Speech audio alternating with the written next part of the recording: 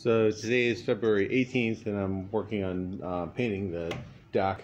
So I'm going to be um, putting this soft sand um, material as a non-skid on the places where you know I expect to be walking. So I've taped out that area here um, and basically just um, put a little border because um, it's nice to have a, a place where you don't have the gritty um, stuff around the edges because the dirt and things um, tend to accumulate on those edges. Just makes it easier to, to clean that if they're and it, plus it looks more professional.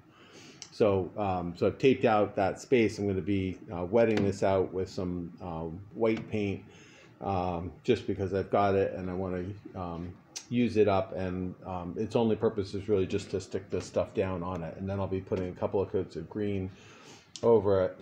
Um, so this will probably be the green uh, color that I'm using.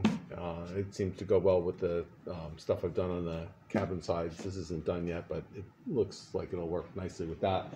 Um, and also up here it looks like that color will work nicely with the um, main hall too. So um, yeah, just getting ready to do that today. Um, the other thing on the uh, rudder is um,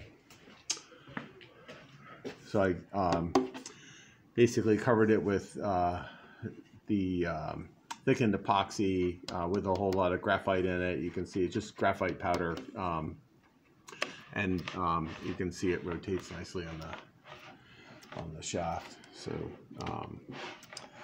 loosen it up a little bit more, but um, it worked pretty worked pretty well. It, um, basically, let the epoxy cure for about five hours, and then uh, uh, put the uh, rudder in this big vise that I've got, and just grab the top part of it and give it a, a twist and um, popped it loose.